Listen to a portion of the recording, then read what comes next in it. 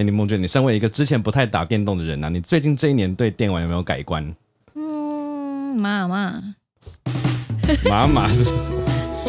你现在正在收听由一个沉迷电玩的男主持人为你带来的好柠檬 Podcast，我是维宇关大伟。我是柠檬卷最好柠檬第一百二十九集，现在的时间二零二三年二月四号的晚上六点二十六分。今天这一集的 Podcast 呢，一开始呢，我们就别闲聊了，因为我要来继续聊我最近 最有 热情的话题。你知道我刚刚为什么说妈妈？妈妈，我知道是日文嘛，就是还好还好，是不是？厉害呀你！因为我就是也是玩了很多日文的游戏啊。哎，刚刚那个梗我完全是临时随机想的。我原本想说，反正我们开头搞不好要再来一次，我随便回答。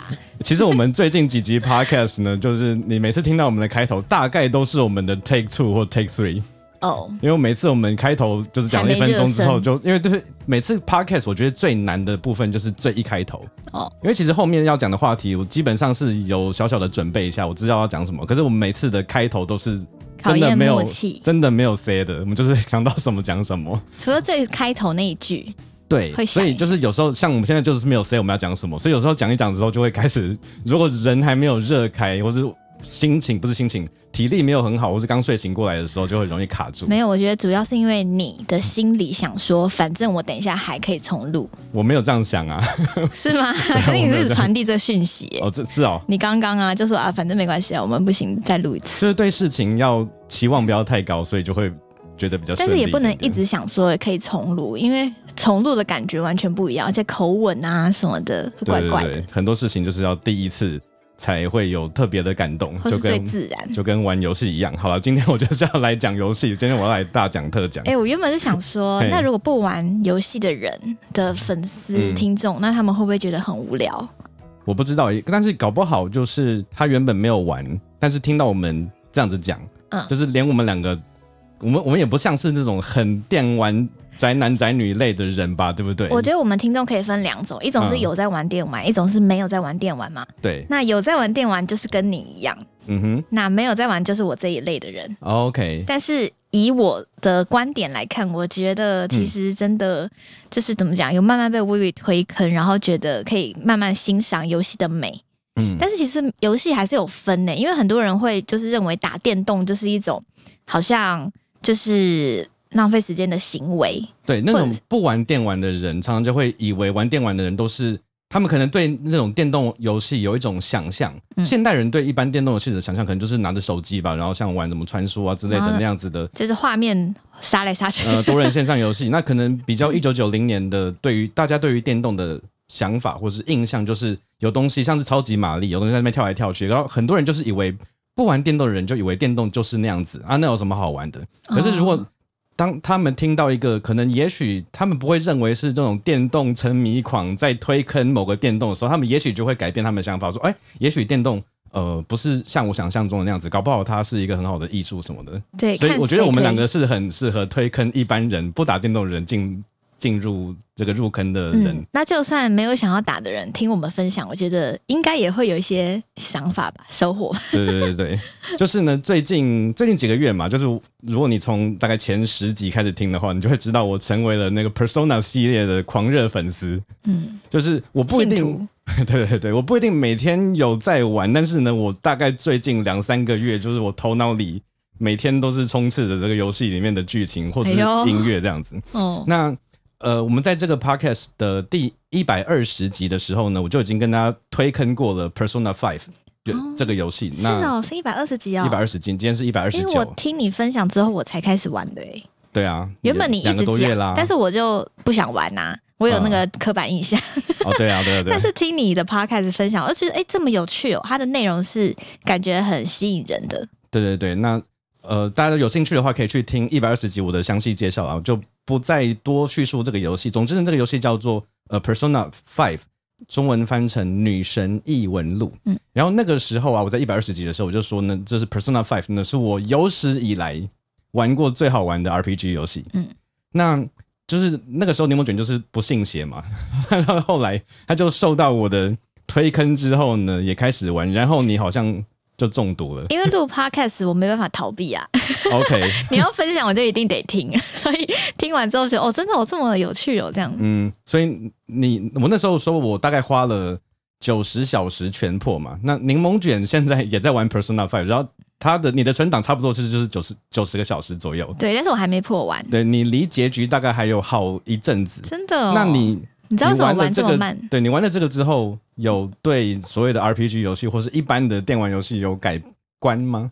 嗯，我觉得改观哦。我觉得因为我从来没有沉迷过，所以我对你以前顶多就是玩玩那种比较快速的小游戏。就是像什么植物打僵尸，或是 Stardew Valley，你其实你也有一阵子很迷，对，但是只有一下下。因为我其实有在就是之前 Podcast 有分享过，我觉得找到一个你命定的游戏，或者是你真的非常欣赏的作品很困难。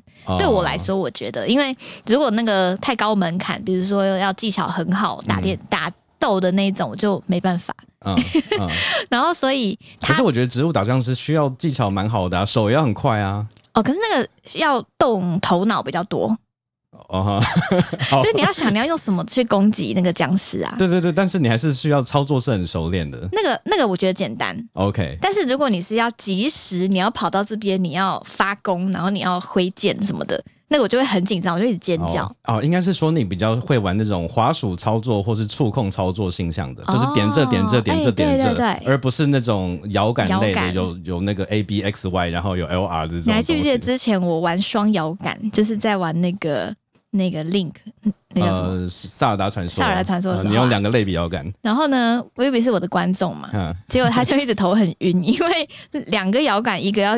准备就是要遥控那个视角，一个要移动嘛。对，所以我就一直一下看地上，一下看天上。呃，我觉得刚开始玩电动的人一定都不不会习惯这个双类比遥感啊，这我觉得这很正常。嗯，对啊。然后所以就找到一个很好游戏嘛，就是这个 Persona Five，为什么我会玩这么久？嗯，一。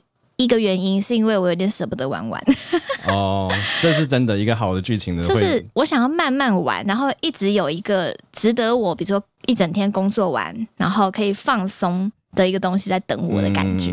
对，然后第二个原因是因为我常常迷路。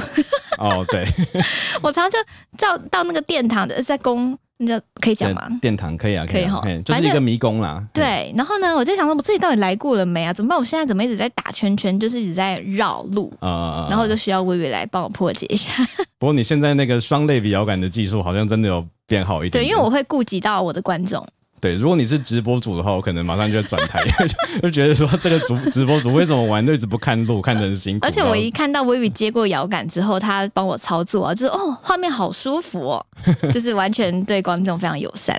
对对，而且你说你玩这个 Persona Five 的时候，你就体会到了一个身为 gay 的感觉，是不是？对，我跟你大家说一下，因为这个就是 RPG 游戏嘛，对，所以那个里面的主角是一个男生，是是男主角嘛，嗯，所以他可以跟里面的女生，对，就是里面的游戏的 NPC 角色互动。对，Persona Five 有一个之前有说过，有一个社交跟恋爱的系统，就是你可以跟游戏里面的角色一起选择度过时间，你们可以增进感情，这样。对。然后呢，我在玩的时候啊，因为我刚开始玩嘛，然后 Vivi 就一直很想要我赶快跟最正的那个女生交往啊啊！然后呢，他就说你要买礼物哦，然后你要记得就是你要去找她约会哦，什么之类的。对对对。但是其实呢，我就觉得你对他根本没兴趣，没有动力，因为呢，我喜欢的是那个男配角。可是问题是男配角呢，因为我是男生嘛，所以他根本不会想要跟我交往，然后反倒是一堆女生都喜欢我。但是呢，我就觉得哦，那个六级那个那个那个男配角好帅哦，这样子。但是我就可以理解，身为可能 gay 的一个心情。但是你怎么跟他提升，怎么跟他度过时间，都没有办法跟他交往。对，因为他就是看我为哥们这样子。对，就我虽然是外表是男生，但我内心是个女生。玩家本身的内心是一个女生。对，完全可以理解这样子。好了，但是反正呢，我今天要讨论的不是 Persona Five，因为那个已经讨论过了。好，就是那个时候我一百二十集。Podcast 出之后啊，我们的一个忠实听众就是 Pickpack，嘿，他就在下面在 VV Video 下面留言推坑说呢，我一定要玩前面的两个作品，Persona Four，就是 Persona Four 跟 Persona Three。然后 Pickpack 呢说尤其大推 Persona Four，然后 Persona Four 是因为它之前只有出在一个很少人有的掌上型主主机叫做 PS Vita 上面，那一直到最近就是呃上个月一月十九号才在 Switch 上面以及呃电脑跟其他的平台推出。所以这是呃第一次，其他的平台的人也能够玩到 Persona Four。总之呢，我当然就是买了。那我你很期待好不好？我很期待，我超级期待 Persona Four。所以我在呃，我就花了大概五十个小时，哎，大部分是在过年期间呢，可能其中四十个小时是在过年期间。我不在的时候。对对对，我就把 Persona Four 全破了。那我玩完的心得呢，是 Persona Four 真的是大推。哎呦，超级故事，超级大大大大大大大腿这样子。嗯，我不会说它是我玩过的最好玩的 RPG，我觉得可能还是 Persona Five 是我玩过有史以来最好玩的 RPG。是因为设计的更好吗？因为 Persona Five 比较新嘛，而且它是 Persona Four 以后的作品，那他们制作团队一定也会进步。嗯，但是 Persona Four 就算是没有 Persona Five 设计的到那么好，或者也没有那么新的那么用用到最新的科技，可是还是非常推。那大概先介绍一下大约的嘛？大约的故事背景就好。记得不要爆雷哦。不会不会不会爆雷，我只会提到最一开始的剧情。那这个 Persona Four 的主角呢，一样跟 Persona Five 一样，是一个高中男生。嗯。然后他这个男生呢，是因为他父母可能要到一个远远的地方去工作，可能出国工作之类的缘故，所以呢，那个男生就被迫从大城市要。搬到一个对转学，然后搬到一个乡下的，寄住在他的叔叔家，妈妈的弟弟嘛，就是叔叔家生活一年。是舅舅哦，舅舅舅哦，不是叔叔。好，但是呢，就是那个男主角一搬到那个乡下的小镇啊，小镇就开始出现一些奇怪的事情。哎呦，是灵异的吗？嗯，不要说好了，就是不知道是不是灵异。那例如说呢，就是会莫名其妙有奇怪的浓雾就罩住整个小镇，或者外面就看不到东西，或者是呢，就是。有时候下雨的半夜十二点，半夜十二点如果有下雨的话，有一个都市传说，就是半夜十二点下雨的晚上，如果你看着没有打开电源的电视，嗯，电视你就看到奇怪的影像在电视里面哦。然后以及就是原本呃他搬过去之后呢，原本很平静都没什么事的小镇就开始出现了一些杀人案件。所以是因为他搬过去了？呃，不知道，不知道，不能 爆雷。好，那整个。故事呢，它就是围绕在这个男主角跟他的伙伴，还有还有后来认识的一些朋友，那一起调查这个小镇上面发明发生的神秘的案件，然后找出到底真凶是谁的故事。其实它有一点点是，呃，有一点侦探推理的小小的元素在里面呢。嗯，那而且呢，这个游戏还会根据你最后有没有找出真凶哦，最后它会有一个桥段，就是你要推理。到底是谁干的这样子？那你如果找对了或找错了，会得到不同的结局。就是有那种比较好的结局，是你你成功的解决事件，会有会有一个结局，然后不好的会解决。那还好，这没有都没有爆到雷了。好，那其他的游戏部分其实跟 Persona Five 都很像，那都是像一般你会期待日式 RPG 会有的那种打怪啊，然后也同样也有恋爱、社交、恋爱的系统，都是都跟 Persona 系列都一模一样。但是吼。我觉得啊，Persona Four 它的魔力呢，是在于它的角色设计跟剧情，这点我是我觉得它跟 Persona Five 不太一样的，比较好的，对，比较好的。那它虽然是一个关于连续杀人案的游戏，感觉应该是一个很恐怖或是怎么抑郁的游戏，但是完全没有，就是整个玩 Persona Four 的整个过程当中呢，它的气氛是非常快乐温馨的。那一定是有人一直搞笑喽。对，呃，可以这样说啦。但是如如果你心情不好的话，就是你最近真的觉得生活压力很大，然后对心情不好的话，我觉得 Persona Four 是一个会让你玩一玩之后呢，不知不觉开始心情变好，然后开始会心一笑的游戏。真的？哦？对对对对对，就是我觉得他的剧本啊，把主角跟他的朋友的日常，嗯，就是日常真的是日常一些小事写的很好，然后你会感觉到整个主角群。们的感情呢是真的很好，就是他们很像互相是家人一样，然后每一个角色的个性都描写的很鲜明，而且很可爱。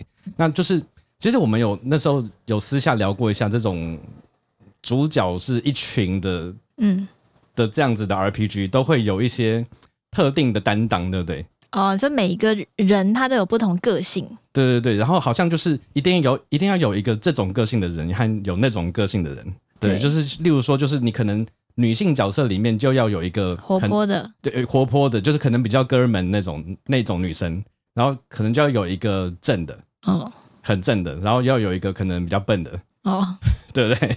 然后有那种可能什么笑点很低的，就明明笑话都不好笑，但是一个人可以尴尬啊，尬尬笑的那种，或是比较宅的，对，他比较宅的，嗯，那他的男男生角色也有那种，嗯。就是好哥们型的，很很诚恳、真性情、好哥们型，那也许有一种比较个性、比较女性的阴柔一点点的那种，但是都各种的角色都有。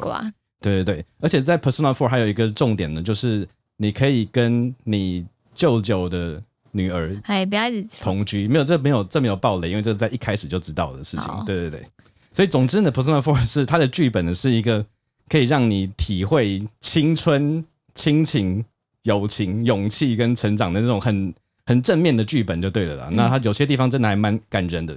然后我那个时候玩到。最后破关呢，就是片尾曲响起的时候呢，其实真的那个，其实你感觉会蛮催泪的。你有没有哭？我快，我差点快要哭。好想在旁边看哦。看没有，我那一天我要破关的时候，就是我，我就是在片尾曲我在感动的时候，那时候大概半夜两点钟。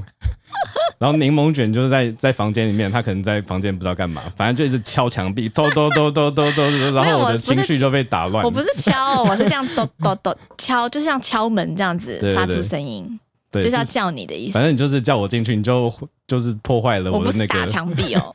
好，你是轻轻的轻轻的敲那个墙壁。对，你知道为什么吗？为什么？那天一定是一三一。哦，你要我那个。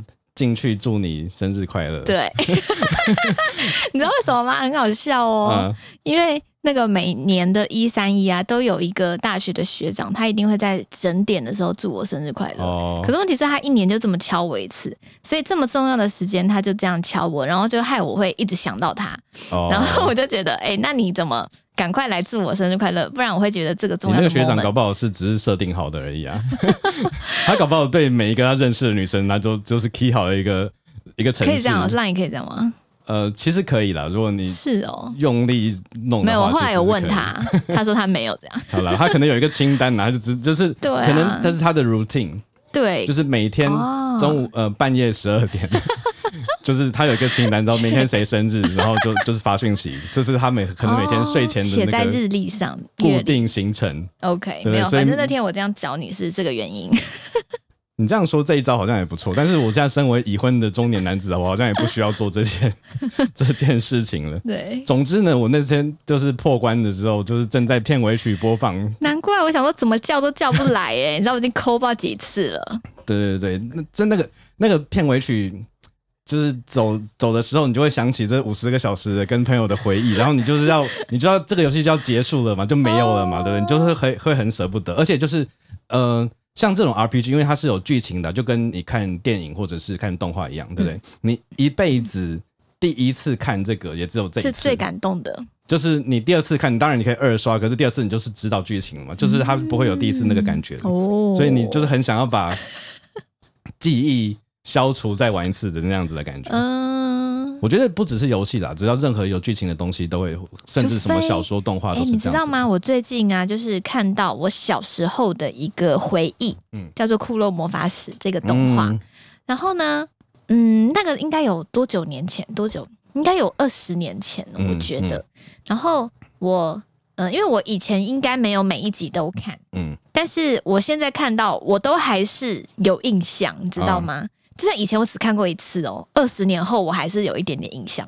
对，可是我觉得二十年可能够久的，可以二刷了，还是会有那个新鲜感。对对，会有新鲜感，而且尤其是第一次看的时候是那么小的时候，所以很多寓意一定看不懂，而且很多见解一定不一样。没错，或是说以前他可能设计的有一些背后的含义，或是有一些感人的地方，小时候可能看不懂，就只能看到很表面的。我我觉得我可以简单小小跟大家嗯嗯讲一下，虽然有点差题，不会不会不会，继续。就是如果大家有看过《骷髅魔法使》啊，嗯，就我小时候看的时候，完全没有想到说小樱就是那个女主角，嗯，她的哥哥跟那个雪兔哥嗯。为什么会走的这么近？OK，因为那个雪兔哥是他哥哥的超级妈吉就对了，他们几乎形影不离，嗯，然后因为小樱喜欢那个雪兔哥。超级喜欢的那种嗯，会心跳加速那种。但是其实好像那个雪兔哥是跟他哥哥在一起哦，但是我从来没有发现这件事。所以女主角的哥哥的死党，嗯，就是喜呃女主角喜欢哥哥的死党，但是那个哥哥的死党是跟跟他哥哥在一起，他以为是死党，其实是他男朋友。但是应该里面都没有戳破啊，在剧情当中。至少目前可以在那种那么小朋友的动画画这个剧情，所以他不能戳破。哦。对对，就是看得懂的人就看得懂。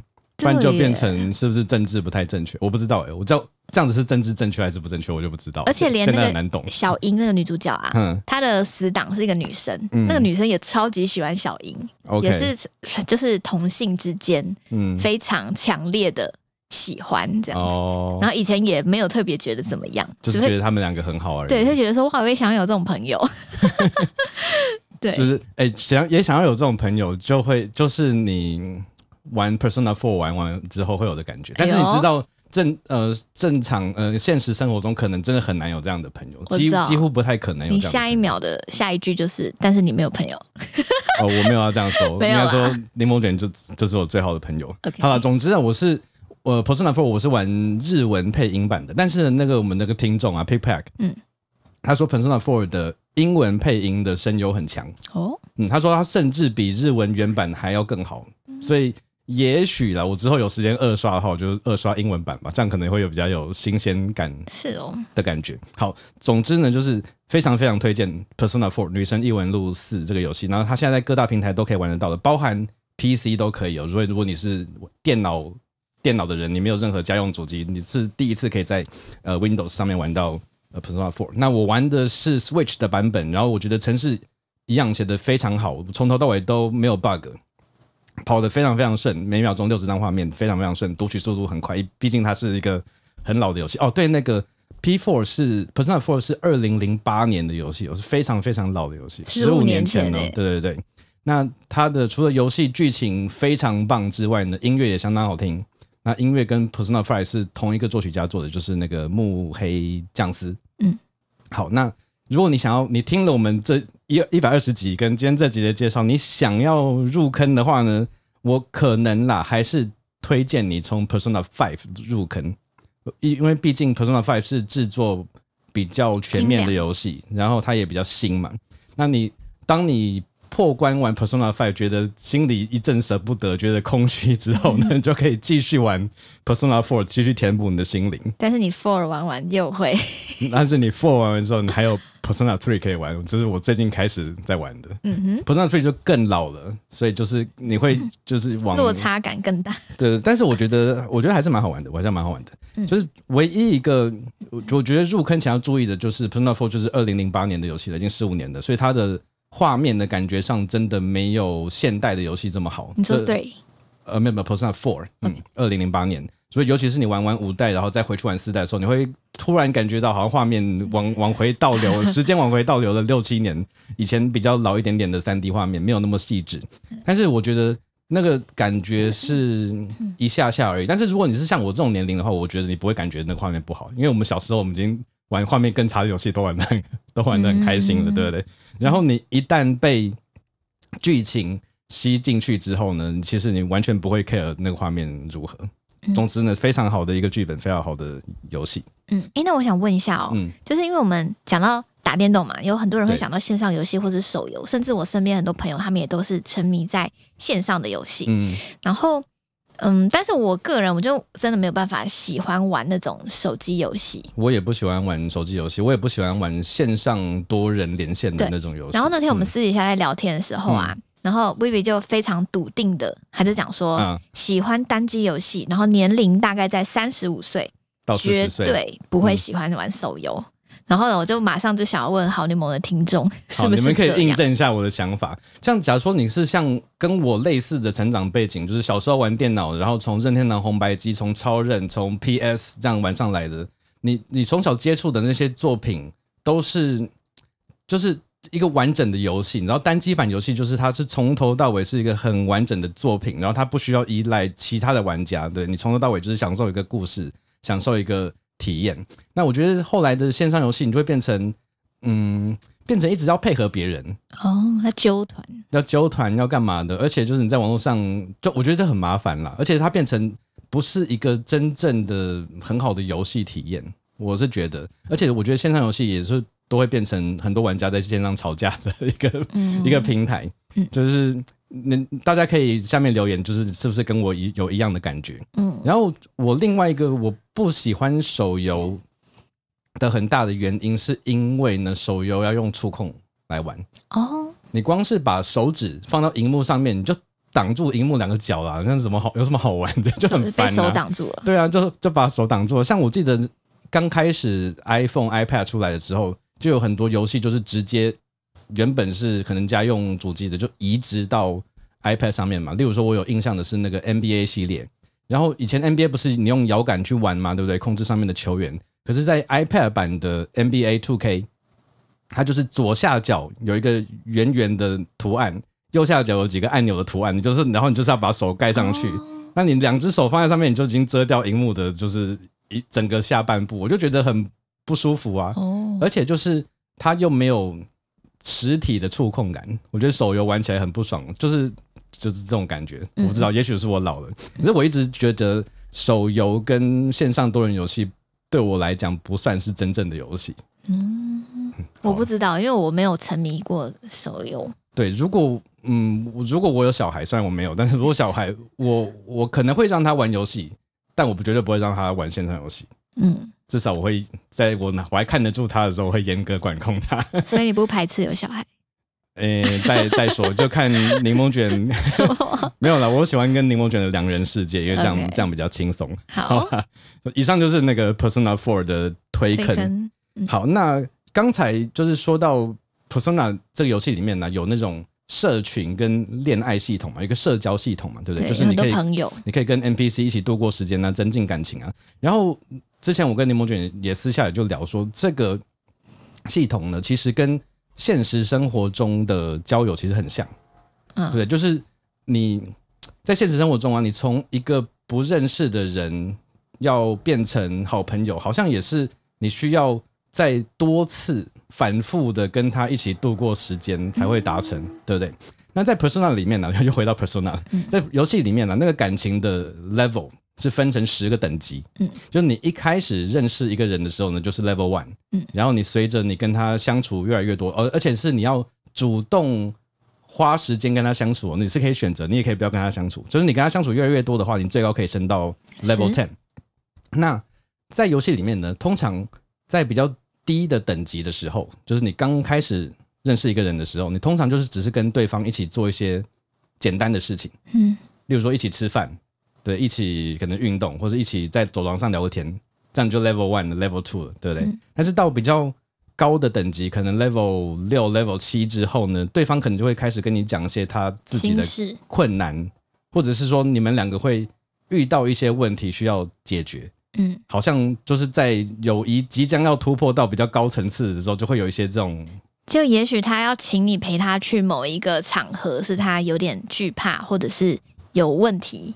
他想要你陪他，嗯，或者说他本身有一个心里过不去的心事，他可能跟你分享。那你们一起跨过了这个困难之后呢，你就跟他就会变成真正的好朋友。嗯然后我觉得这个，嗯，这个流程跟真正的交友其实好像蛮像的，嗯，而且我觉得他的那个时间流程、时间进程，甚至也跟真的真实世界蛮像的。你看到就是在游戏里面呢，你大部分可以用来。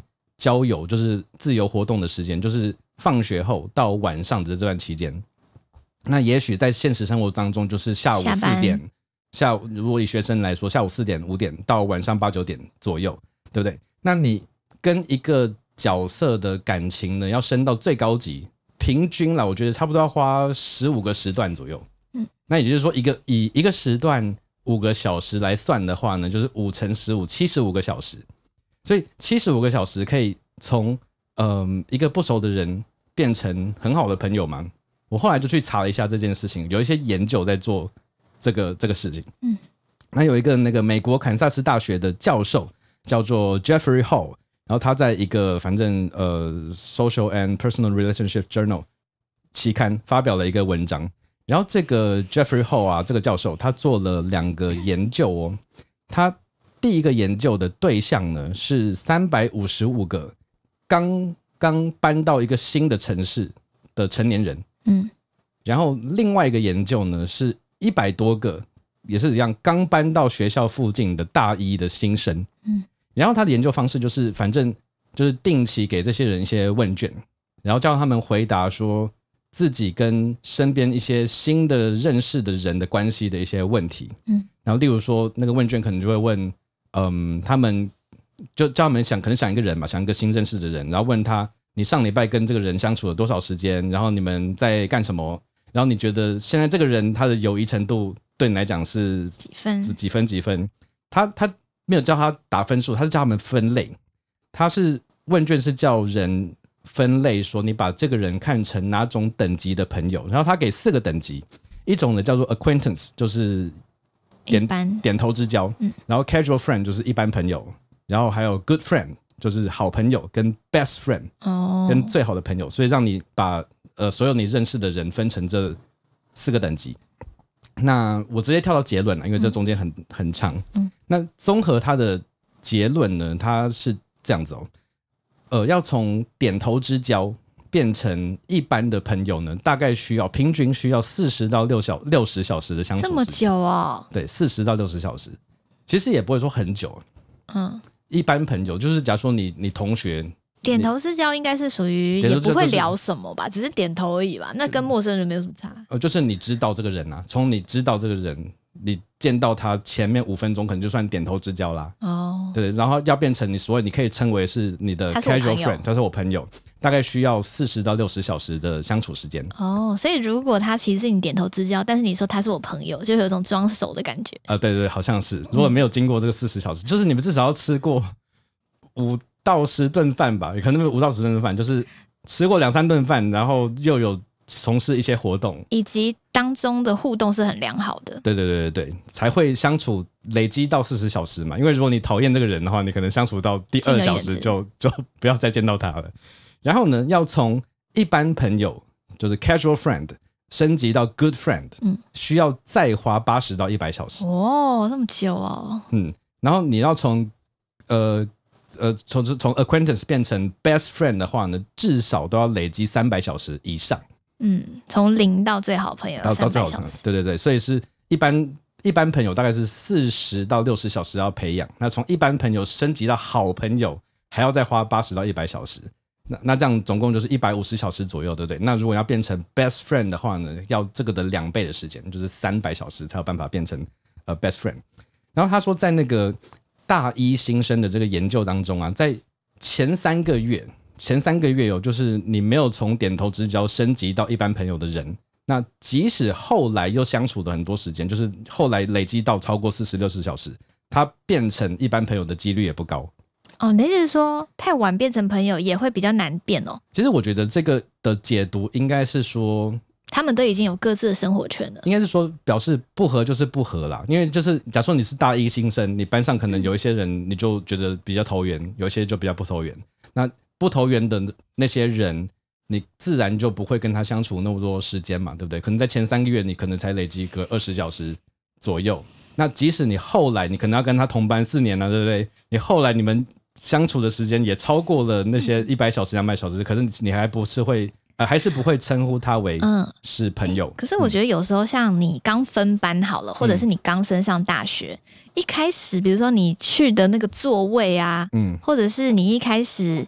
呃，旁呃，身旁是谁？哦，那个运气很重要。对呀，因为你看哦，假设你其实跟别群人可能也是很呃很合的，但是因为你一开始你去的时候，旁边坐的都是，也许你一开始不觉得你会跟他当朋友哦，但只是因为一开始，然后他就想跟你当朋友，然后你就哎，好啊，不排斥嘛，嗯，结果你就跟他变成一团了，但是其实你跟他可能没有很大。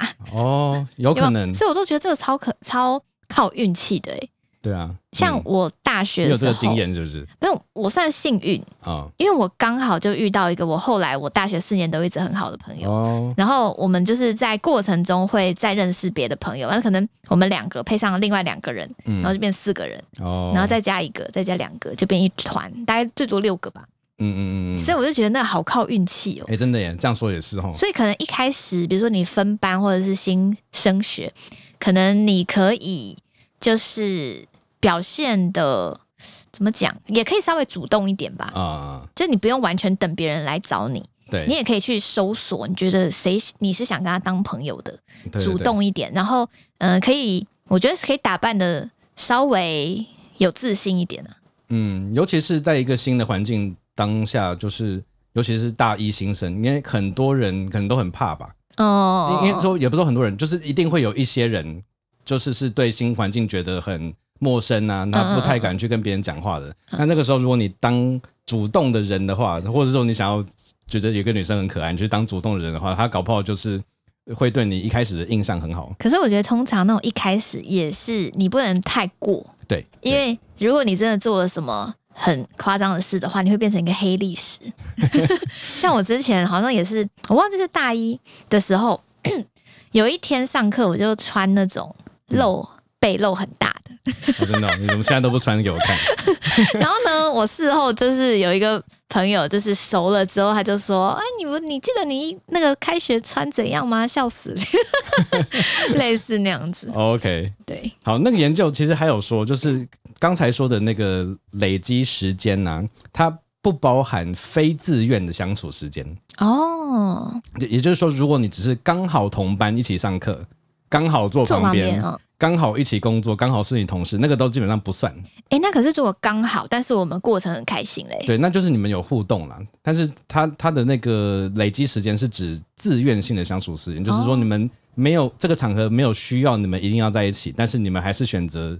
呃，跟对方一起度过这个时间，那个才才算。哦然后他说，增进感情最好的方式就是简单的 hanging out，嗯，就是做双方都喜欢的任何活动，例如说一起看电视啊、运动啊，或者是打游戏，任何一起吃饭，对之类的。然后他说，呃，聊天，你跟他跟一个人在一起聊天的内容呢，会很影响友谊形成的速度。哦。你们聊什么东西会很影响你友谊形成的速度？就是说，如果马上聊心事的话，嗯，他就会变成不好好很好的朋友吗？嗯，他说最能增进友谊的话题呢，就是聊对方最近的事情，哦，对方最近的状况发生在他身上的事情，然后以及或者是比较稍微复杂的，双方都能够参与讨讨论，呃，讨论在对话中很投入的话题，是最能够增进感情的。所以夫妻应该一起录 podcast，这样就可以增进感情。你说什么夫妻？夫妻呀，或者朋友也可以一起录 podcast。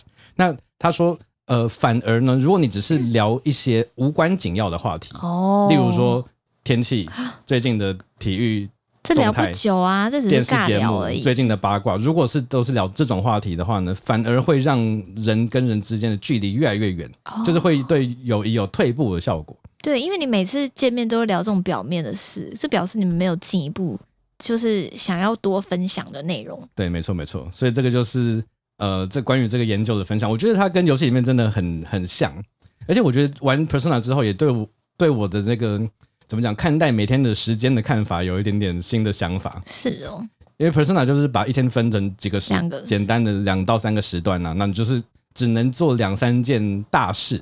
比如说，你跟这个人度过，那就是半天要给他，然后你晚上可以去打工，就是半天要给这个打工。我觉得跟嗯，跟实际人可以做的事情也差不多。你中间可能可以买一些东西，去跑去倒个垃圾、清个猫砂，做一些小事。可是你真正能够做的比较深度，嗯，重要的事情，一天可能就是两三件而已。那你要慎选，就是在你看，你只能在一个地方住一年，然后你要跟那么多人建立关系，你还要提升自己，还要干嘛的？你每天。选择那两件事做什么，其实真的蛮重要的。嗯，我是觉得我在那个游戏里面啊，就是他会需要一直充实自己嘛。嗯，然后我就会也想说，如果现实生活中我可以看了一本书，我的知识就提升一格，然后我可以嗯呃做个手工，我灵巧就提升一格，那感觉也很就是很快。哎，不是哦，其实是你在生活当中，你看了一本书，你知识真的会提升一格。假如说你做一个手工艺品，或者你今天练了一个小时的琴，你的琴艺真的会提升一格。只是说我们人你没有没有办法按一个暂停，然后你看到那个表格，看到你现在那个数值而已啊。嗯，而且它那个可能无限大，嗯，因为你的知识并不会有点满格，它是无限累积上。其实你说到这个概念，这这个是没有没有原本要预定讲的话题，就是所谓的那个 gamification，游戏化。好，很多 gamification 就是很多嗯。平常不是游戏的事情呢，你只要一旦给他一个游戏化之后呢，大家就会更想要去做这件事情。例如说，可能原本一个嗯学英文的东西好了，你只是看看课程就学英文就就无聊嘛。但是如果我设定说什么，你连续十天登入的话，你就得到一个奖牌哦，achievement 这样子，然后你就会觉得很像游戏，我就可以看到我的成长啊。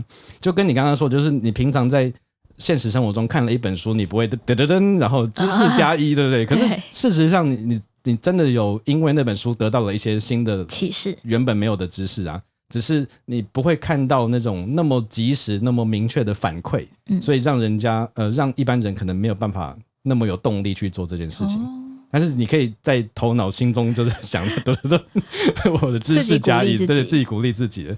我我觉我觉得会是有差的。其实，在真实生活中，也是你做每一件小事，真的就会进步一点点、一点点、一点点。我觉得大人可以给自己这样子的一个想象啊，但是我觉得给小孩子可以一个。比较明确的那种鼓励，或者就在家里挂一个荧幕啊，他看了一本书，你就给他按加一等，然后你看你的知识增增加了这样子。没有，我想到的是有些教小朋友，嗯，然后就是可能他今天表现很好，给一个贴纸 之类这种，一样啊，那个就是所谓的游戏游戏化，把那个教钢琴游戏化，嗯。好了，下一个话题呢是柠檬卷要想要分享的。OK OK，好，就是其实我昨天呢在准备拍，没有这么临时啦，就一直有在看一些东西，觉得有趣就会把它记下来。好，然后呢我在 YouTube 上面有看到一个文森说书的这个频道，然后他聊到一个内容，我觉得还蛮有趣的。嗯，然后他主题是说网红太多会怎样吗？然后红太多会怎样吗？对，但是后来我发现其实会大家都没有流量，没有了。好，继续说。但我后来发现，其实它的主题应该不是叫做太多会怎么样，嗯，而是叫做为什么有这么多人想成为网红啊？那但是我觉得今天分享这个想法跟观点啊，其实并不局限在网红这个主题上面，嗯。那等下往后分享，大家就会知道。我觉得挺有趣的，嗯哼。然后呢，其实我这一次回家过年的时候，因为我表妹他们其实都是柠檬卷的粉丝，自自己讲，好，他们真的有看，他们真的有看。对，那虽然他们对音乐没有什么兴趣，但是他们就是我后来知道他们会聚在一起，然后看我那个小杯柠檬汁。哦，他们是不是很崇拜你啊？嗯，我觉得近几年好像就是我有频道之后，对对，他们就觉得好像你是电视明星一样，应该吧？因为。他们现在很多小朋友都想成为 YouTuber 啊，嗯，现在还想哦，还想，我以为这个已经是我也大概五到七年前的事情，哪有那么久？我也以为现在比较退了，但是他也有讲说，还是有很多小朋友是想这样，然后说，哎，那这样的话，你们之前有出现在我的 Vlog 里面呢，嗯，你们有你有没有拿给同学看？他们就拍谁这样子，然后所以就想说，为什么那么多人想当？网红呢？那可能有些人会很直觉的想说，哎，因为可以收到公关品啊，或者是说，呃，你可以得到大家关注啊，做什么事都有人讨论这样子。那所以，嗯，我这边网红就是泛指 YouTube 直播主或是 TikToker 这样子。嗯，好，那这个理论呢是说呢，相比一百年前，嗯，好，那人们要现在要有饭吃啊，有个遮风避雨的地方，其实已经越来越简单了。嗯，那。但是如果只是要满足生存所需的话，嗯，其实不难嘛。对啊，所以比起需要什么，想要什么变得比较困难。想要什么比较？你说想想自己要想要什么，对，变得比较困难。对，因为你的基本像那个是不是马斯洛的那个，就是有吃有住，有的喝，有的 吃喝拉撒睡都可以了，都其实不缺什么。生存生存比较没有问题。那最比较难的是上面的那个达成目标的部分嘛。嗯。那所以人们在思考这个问题的时候呢，往往会采取最简单粗暴的方式，就是模仿。哦。对，那他他今天讲的这个呃理论其实是出自一本书啦。嗯。好，那这个 等下跟大家说。那因为模仿是人的本能，嗯，那其中他有举了几个有趣的实验。那其中一个实验呢是，嗯，这个实验对象是十八个月大的小 baby，嗯哼。那实验方式是有一个工作人员，他会在小 baby 的面前拿着一个箱子，然后里面放玩具，嗯，然后他就要试图要打开这个箱子，但是假装打不开，OK。然后呢，或者是说他在拆开很努力的时候呢，不小心箱子掉到地上，嗯，这样子，反正他就是最后会把这个箱子递给小 baby 这样子。OK，结果五十个婴儿，就是这些小 baby 当中呢，有四十个都做了相同的动作。你说把它拆开，对，然后把它掉到地上，但这样不一定，但是他们会有这个意图啊，就是试着要去把它拆开，嗯，而不是说模仿这个动作，模仿说拆然后掉。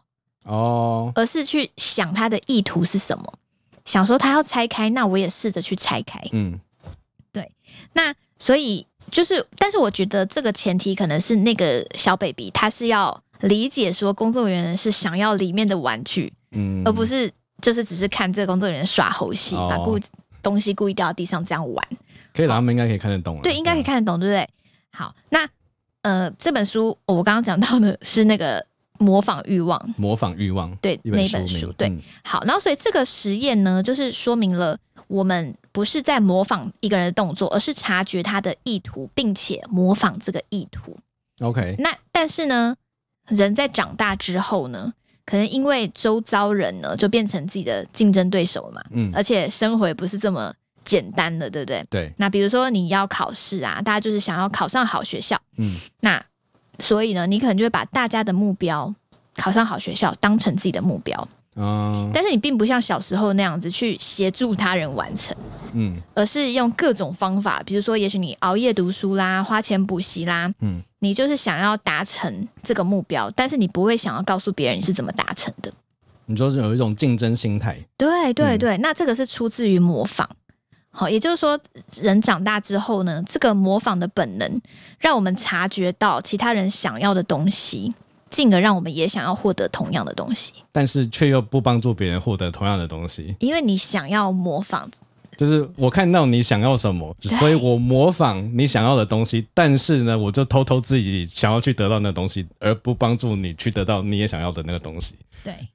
好，就是很心机的一个 做法。那那么谁会成为我们的模仿对象呢？嗯，他又举出了两个族群，嗯，然后他用名人岛跟同温层岛这两个来比喻岛 （island）。对，那名人岛呢，就是上面的人都是离我们很遥远的名人，嗯，比如说好莱坞明星啊，Elon Musk、Tim Cook 等等之类的。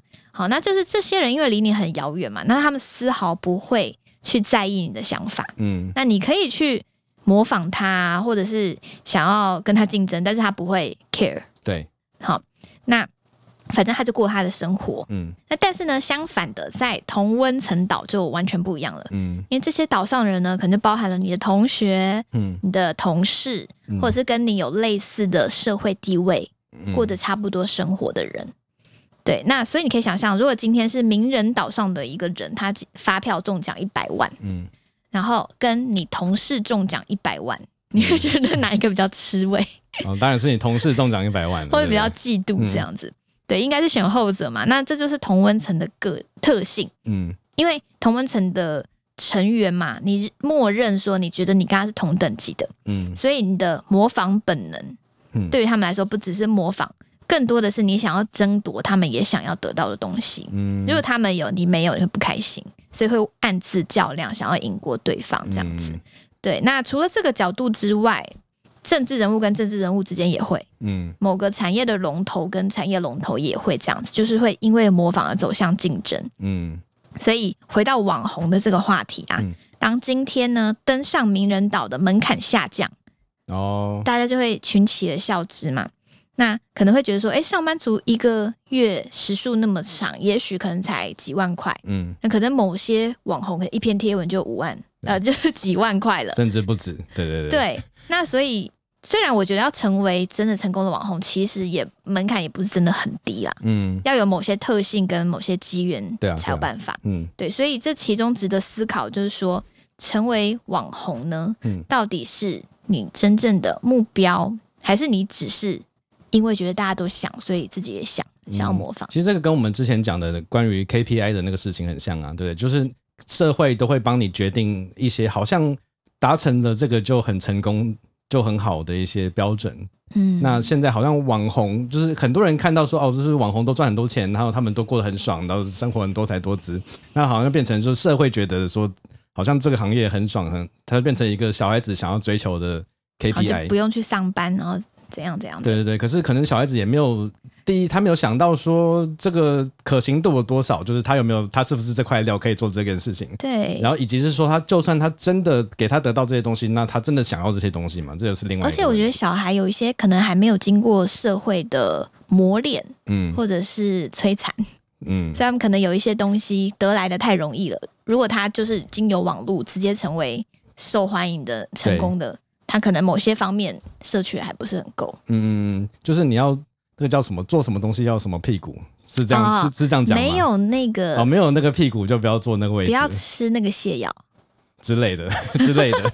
就是说，你今天如果不是一个很会理财的人，好了，然后你突然中了乐透头奖，你大概还是会把那笔钱败光。就是你，你不知道怎么样控制财富的话，那你不知道怎么样控制名声的话，今天给你一一千万 follow 的时候，你只会知道更多的那个黑黑新闻而已，不会更好哎，对不对？然后你刚刚说的另外一个那种呃同温层的比较心态，其实我之前也看过一个研究，嗯，那个研究就是讲，嗯，有钱有钱这件事，跟比你的邻居还有钱，嗯，所以你可以选择有钱就是真正的有钱，跟比你的邻居还有钱，这两句这两件事情相比呢，后者会让人感到更快乐。嗯，就是我光是有钱，并不会让我感到很快乐。你要比较是不是？比我的周遭的人有钱，会让人感觉到很快乐。但是你有钱的话，如果你是真正有钱，就已经比更多人还要有钱了。但是你跟你的周遭的人，就是你的同温层哦。所以，例如说，假设我今天是嗯，不知道财产净值有千万美金。我已经在绝对的标准上，我已经很有钱了，对不对？可是我朋友都是亿万美金跟十几亿万的，那我就觉得啊，我都我都输给他们，那我好多人都抬不起头来的这样的感觉。但是如果今天是嗯，今天整个全球经济崩坏，好了，就是全世界的人都只能啃树皮，你朋友都在 你朋友都在捡垃圾啃树皮，但是你今天有一个面包可以吃，你就觉得哦，我超超爽的，我超屌的，真的，就是会很会很开心，就是要比较。真的那个是比较出来的，而且是跟自己的呃近近距离的人啊，那这样会感觉你好像就是人好像很心机耶，就是你都在跟周遭的人比。我觉得就是你要知道人有这个盲点呐，所以看你们尽量跳脱啊。因为你看到就是以绝对的量表来看，我们现在一般人就像你刚才说的，就是现在人物质生活那么那么好了，对不对？现在物质生活方便性什么的，你如果你跟一个三百年前、四百年前的皇帝或者是国王比起来，对不对？他他虽然是国王，他可能还很有权利什么，可是他每天用的东西、他喝的水、他吃的东西、他每天的娱乐，其实这是我们二零二三年看起来是很无聊、超无聊的，好不好？他可能连那个灯都没有，对不对？他他大便还要自己拿一盆水去冲掉，不像我们现在有那个自来水。可是他有每晚有很多可以翻牌的啊。对啦，这还是有一些好处，但是就是就一般的物质来说。我们现代的一般人应该要比，例如说四五百年前或者一千年前的国王要快乐好几万倍才对，可是却没有啊。哦，对对，我们一般人还是有每天有那么多好的东西可以用，那么多好的娱乐，我们还是很不快乐。嗯，对不对？这是跟跟周围的人比较。所以说，绝对值好像到你不会有那么有感觉，反而是相对值。这个也是就是社群媒体会让人很多人觉得不快乐的一个主要的原因，因为你都看到别人。好，都都对啊，别人都是别人的 highlight reel 给你看嘛，可是你就是看到自己的全部啊，对，你就觉得说你自己的真实生活跟别人的 highlight 怎么比起来差那么多，就是就是这样子，嗯嗯嗯，所以大家不要再继续划手机了，对，我最后做这个结论。所以这个是呃文森说书，大家如果想看他的影片，可以直接就是搜寻最新影片。好了，那今天我们就来进个 Q A 喽。好，那我念哈，嗯。好，RLC 在 YouTube 留言，他说很感谢薇薇老师跟柠檬卷这么用心的录 Podcast。以前单纯只是薇薇老师音乐方面的粉丝，没想到最近听了 Podcast，发现薇薇老师有很多的看法，我非常的赞同，也很想学习。过年期间就听了好几十集，我自己对少用手机的看法非常有感。之前常常会花时间 po 文看人家动态，但久而久之发现自己越来越陷在手机跟手社交上，这让我三不五时就会去看。有没有新的讯息啊，或者什么朋友发了新的动态啊，导致常常无法专注。听了 podcast 之后，自己越来越少用 FB 和 IG，发现这样的生活反而更自在开阔了，也让我有更多时间可以拿来做音乐以及周遭的人事物。最后，我想要大大称赞薇薇老师的音乐教学内容。我是有跟薇薇老师上编曲课的学生，我看到这则贴文就问你是谁没有？哦，对对对，我我后来知道是谁了。哦，好，虽然目前只上过几堂课，但是我有好多之前好几年都听不懂的观念，在老师花了几分钟的示范之后，瞬间打通了。啊，谢谢谢谢，很感谢老师在音乐上的教导，以及 podcast 上面分享各种小知识跟各种事情的看法。希望你们可以继续录下去，我会继续听的。我觉得不用手机啊，少用手机真的真的很棒。就是从去年八月开始换成 iPhone Five 之后，真的觉得整个生活很开阔。除了就是在拉面店点餐，然后他让你扫 QR code，进去之后发现你的浏览器不支援的时候，觉得觉得很烦。超好笑，只能用我的手机点。对对，除了这一点之外呢，我觉得没有手机的的生活真的都还不错。好，下一个留言，Pickpack 他在 VV 留言就是推坑我 Persona Four 的 Pickpack。好，他说你们卷分享的过年心得很棒哦。我的外公外婆一直生活在香港，前几个月也因为得了 COVID 进入了好几次医院的急救室。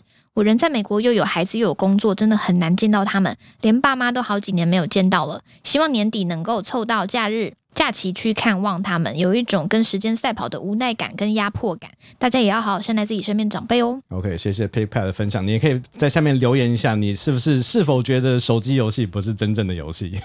我觉得 PayPal 应该会跟我有同样的想法，觉得单机游戏才是王道。对，我就觉得 PayPal 跟你有蛮像的，应该就是。中年中年宅男啊，不能叫他宅男，就只有我是宅男。好，下一个 C W Home 在 YouTube 留言，他说：“怎么记得去年两位农历后的开场，Vivi 也是回答每天都在放假，因为我真的每天都在放假。他懂得享受生活。好，过年有一个恋爱家教的话题还蛮红的，有点想看两位分析这次的事件。刮胡 YT 的关键字是 Edward。”恋爱家教纪薇，嗯，不过因为这件事情已经娱乐化了，要了解整个脉络有点太长。如果两位没空或是没兴趣，可以针对单身男生花大钱找恋爱家教学习把妹技巧是不是浪费这个问题讨论即可。想听听两位的意见跟经验，谢谢每周的陪伴。那微雨跟你们卷节目已经变成我的固定精神粮食了，会继续支持你们。谢谢。哎，你有跟上这个话题吗？我完全没有，完全没有，我完全不知道这是什么东西。他说什么？呃。呃，Edward 恋爱家教跟纪维，我然后我真的没有去研究了。他说可以针对单身男生花大钱找恋爱家教。对对对，那你要不要先说你的看法？单身男生花大钱找恋爱家教学习把妹技巧，是不是浪费？嗯，我觉得不用花大钱啊。嗯，因为听好柠檬就可以，对不对？对对，我我我分享一下我的想法好了啦，就是我觉得可以分。我觉得很难说，就是是不是浪费钱，我觉得很难说。但是可以分几个方面去想一下。嗯，第一个，我觉得我们可以先问，就是说，学习如何追女生的技巧，到底是不是一件值得投资的事情？嗯，那我觉得这个答案当然是超级重要，超级值得投资。我觉得学习如何追追女生呢，可能是一个男人，当然异性恋男人。人生中最重要的几件事情，我觉得那是因为你会知道方法。嗯，比起你可能哎每次都去尝试，然后投入超多的心力、金钱，然后但是每一次都空手而归。嗯，那你可能会想说问题到底出在哪？但是如果你抓到了技巧跟方法之后，也许你同样的力气只要花一次。对啊，我觉得嗯，如果现在要我排行，就是人生中最重要的事。嗯，我觉得可能第一名一定是保持身体健康，我觉得这是一定的，因为身体健康没有的话，就什么都后面都没有了。第二重要大概就是找到好的伴侣。哎，我以为你要说就是有一个呃工作身材的方式，哈，没有 技技能啊。哦，那我觉得大概会在第三吧。啊，是哦。我觉得嗯，找到好的陪伴的人，真的好，好像还是比工作跟金钱来的前面一点点。因为如果你旁边的人很糟糕的话，他会把你的工作、金钱全部都败光啊！所以你还是要先找到一个好的队友，然后你后面的东西就会越来越好。对，所以可能是先健康，然后我觉得再来就是伴侣，然后再来才是工作跟事业吧。那我就想到啊，我前就就就上个礼拜哦，还是上上礼拜，我就跟一个嗯我的学生男学生，高中男学生在聊天，线上的，然后他就说呢，他追不到他喜欢的女生。嗯。然后因为就是那个女生现在有男朋友啊什么什么的，就是她就没有办法嘛。然后那个时候我就当然就是做我会做的事情，我就推荐去他去看 Corey Wayne 的书。然后那个学生英文还可以啦。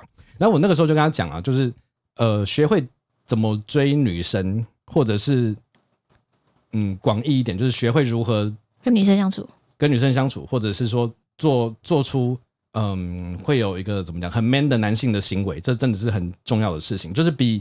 你跟我学编曲、学钢琴，或是学什么学校里面的科目还重要。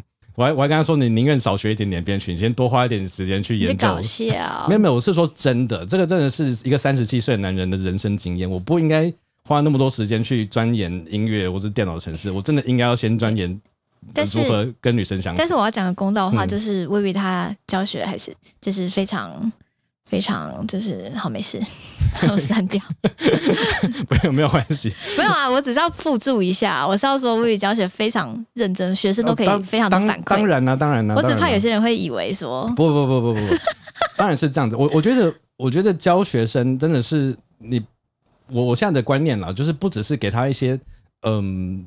怎么讲？就是技术上的帮助，你还是要给他一些人生更大的意义上的的方向。例如说，就是学生来跟你学钢琴、学编曲，当然这这些事情很重要啊，很有趣啊。可是学钢琴、学编曲之后要干嘛？就是我要把这个拿来做什么？我觉得也是要有让学生有一些想一些想法。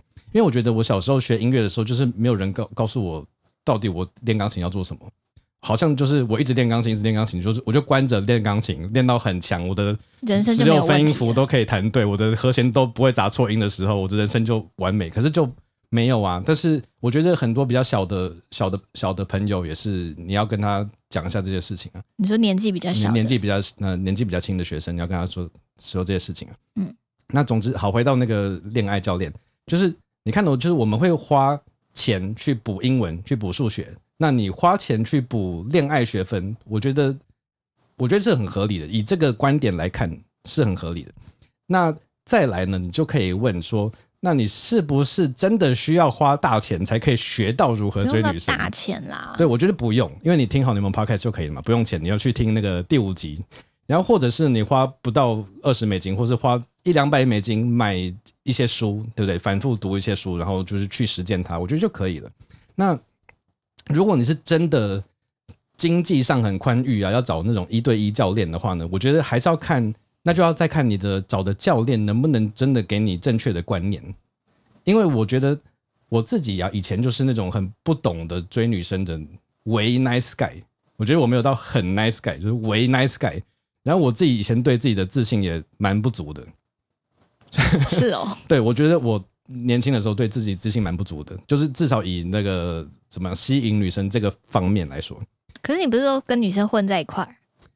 我觉得，所以我才说我是为 nice guy。就是我虽然说我学生时代呢是有过好几任女朋友，但是但是就是我失败的次数是更多的哦。就是也许我如果有五任女朋友的话，我可能失败过十次，所以我我的成功几率其实是很是很低，没有没有三十三趴而已。对，那现在我一直到。就是我第一次离婚之后，现在回头看，我才比较能够说出我当时到底有什么地方做的不对。那反正就是，呃，之前因为离婚嘛，所以就我就有下定决心要好好整顿一下自己的这个方面，所以我就那个时候就买了很多书。其实不止 Corey Wayne，Corey Wayne 是我最推荐的一本，但是除了 Corey Wayne 之外呢，我大概我的 Kindle 跟 Audible 里面大概有。大概应该有至少十本类似的书，然后还有一些实体书，有有一些台湾人写的，可能有知名恋爱 YouTuber 写的，我有看过。然后也有什么翻译，然后这些恋爱的书啊，有有一些书就真的只是教一些很表面的技巧而已，像是有一些就是叫你背一些公式，就是说在酒吧里面，然后你要。你要走向一个女生，你第一句话跟她讲什么，然后你要她问什么，你要怎么反应？然后机器人，对，那些就很像机器人，那种很糟糕。我有看过那种很烂的，还或者是有一些那种什么 pick up artist PUA 的那种书啊，他教的观念其实也不是很好。例如说，就是有些是利用一些心理上或是语言上的小技巧，情勒小技巧来，有有种邪门歪道的感觉，有没有？教你用一种比较不尊重女性。或者是哄骗的那种心态去接触女生，我觉得那种那种也不是很好。有这种啊？有那种书啊，他们都常常把把这个叫做游戏啊。你你你可以搜寻 PUA，就是 Pick Up Artist，就是你可以翻译成可能就把妹达人或者泡妞达人之类的那种话语。P PUA，那他们那时候他们那种观念就是，反正我可以。短时间内可以骗到几个，就是当做我很厉害这样子，就以跟女生上床为目的的。我觉得这种心态都不是不是很健康。认真。对，那我觉得，呃，我读过蛮多这类的书，那真的讲得好，然后观念很正派的把妹书不太多。那我相信网络上也有很多，我看过很多 YouTube 影片啊，那种怎么就是如果跟女生相处或者搭讪的教练，就我觉得也有一半一半。不太有一半是不太好的那种就是观念，可能都是自己。的经验啦。嗯对，但是像 Corey Wayne 他可能就是 c o r y Wayne 真的是比较从从根本上去改变你这个人，让你变成是一个比较正派、知道怎么样相处的男人。我觉得这个才能真正，假如说是一个年轻男生，你需要你一直都追不到女生，你一直有这个方面的问题的话，我觉得也不是说你背几句台词，然后都都到酒吧的时候要跟女生怎么说，嗯，我觉得那个都没有用的了。那都那个即使那个可能就是教练长得蛮帅的，然后讲话有一点点还有用，对不对所以？我觉得这种教练的卖点，或者是说嗯就比较受欢迎的，是因为可能会觉得他好像可以因为来看你这个人本身缺了什么，嗯，比较嗯克制化的感觉。对。但其实好像也不用，如果真的要砸大钱，我觉得也不用了。对了，所以结论就是听好柠檬就好了，然后顶多去买一些不错的书。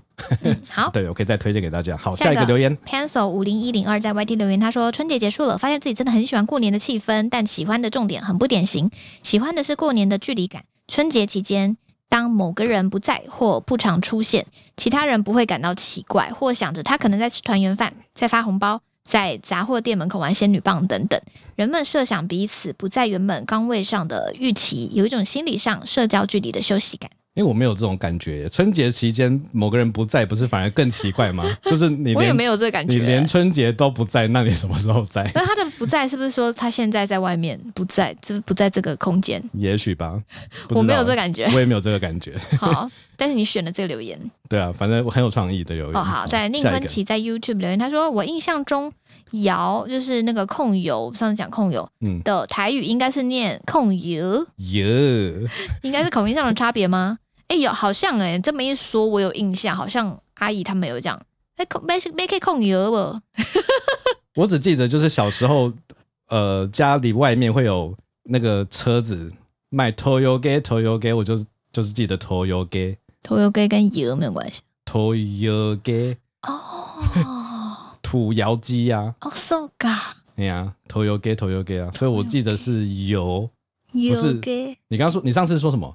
油，油控可能没有油啦，油 Toyoga 哦 Toyo 油，就毕对竟他可能不是注音对对，可以听稍微出来。稍微偏向呃一点点。哦，好，下一个下一个 Ethan Clark 嗯在 VV 留言说：“Hi, Vivi and Janet, long time listener. Love the podcast. I was just looking at your audio setup, and you guys have the SM 七 B 七 B with the cloud lifters, lifters on the Rodecaster Pro second. 嗯 Oh, it's the preamps. preamps on the Rodecaster Pro 2 not enough, so that you need cloud lifters. Do you still increase volume in post? 呃，他是英文留言啦，所以念一下。我以为我下面写的翻译。他说：“嗨，微雨跟 Jenna，他是长期听众，很喜欢你们的 podcast。他说在看我们的录音设备，然后看到我们用 Shure SM7B 麦克风跟这个 Cloud Lifter，如果你看影片的话，就是前面这个蓝色的盒子，在 Rodecaster Pro 2上面。 那是因为这个它的麦克风前级放大器不够强吗？所以需要 Cloud Lifter，还是我们在后期的时候会增加音量？这个我要说明一下，我们并不是用 Rodecaster Pro 2，我们是用 rocast rocast Pro 一代。我们从第零集开始录到现在，多久多久？两两三年了，我们都没有换过录音器，我们一直都是这台 Rodecaster Pro 一代。那我有听说，就是二代的麦克风前级比较强，就是好像可以不用再用这个蓝色盒子的啊。对，我应该跟观众说明一下，这蓝色盒子干嘛？这个蓝色盒子叫做麦克风的前级扩大器，然后它的功能呢是让我的麦克风的音量变得更大。原因是因为哦，就是我们现在用的这支 SM7B 麦克风啊，它是属于呃比较难推动的麦克风，也就是说你音量要开到很大，它才会足够的力量的的一支麦克风。那很多录音机本身的音量钮，你就算转到最大，它还是不够力，所以我们前面要加一个蓝盒子，让它变得很大声，这是那个蓝盒子的功用。那呃，他说那个 Rodecaster Pro 的二代呢，就是有据说啦，它的内建的麦克风扩大器比较强，可以开得很大声，所以就不再需要用蓝盒子，这是他想问的问题。但是吼，我我没有用过二代，所以我没有办法评论。但是即使二代它能够比较大声，我大概还是会用蓝盒子。原因是因为，嗯、蓝盒子它放大的那个音质真的很好。你就想说吼，就是我们的麦克风这个声音进去啊，我们会经过蓝蓝色盒子跟录音器本身有两个人在帮我们放大。但是可能有一个人对他来讲说放大是很轻松的，就很像我力气比较 力气比较大，我说我很轻松就可以就让你大声二十分贝，我也不会增加，因为我太用力增加一些杂音什么的。那我应该还是把那个放大的呃工作交给比较轻松的那个人，因为这样进去音质会比较好。那我就不要让呃放大没有那么有力气的录音器做那么出众的工作。嗯，对对对，所以即使是。呃，新的录音器更有力，其实前面加一个 Cloud Lifter，一定还是会让声音更好。嗯，像我以前录那个柠檬卷频道影片的时候啊，我因为有时候讲话太小声，对，然后呢，我就把它放大之后。周遭的那个有一个摩托车骑过去的声音就听得很清楚。对对对，这叫讯噪比嘛，就是你想要录的声音跟周围不想要录的声音的音量是不是差的够大？哦，就会影响你后后置好不好后置。然后他说我后期会增加音量吗？其实我后期做蛮多复杂的处理的，这个在这边讲下去的话呢，就太复杂了。但是我后期是有做蛮多呃复杂的处理，像是什么 EQ Gate Compressor 等等。好，所以今天的问题就到这边为止啦。那如果你喜欢今天的节目呢，希望你可以在 Apple Podcast 或是其他平台给我们一个五颗星的评价，或是按一个 Like。这个 Podcast 会同步上载到好柠檬 YouTube 和 Odyssey 用 VV 频道。如果想要留言给我们或是问题的话，最方便管道就是以上那个地方。然后不要忘记支持好和小柠檬卷频道哦。也不要忘记我们好柠檬的专用信箱是 Nice Lemon 小老鼠 PM 点 M E。那你刚才收听的是好柠檬 Podcast，我是微雨关大伟，我是柠檬卷，再见喽，拜拜拜。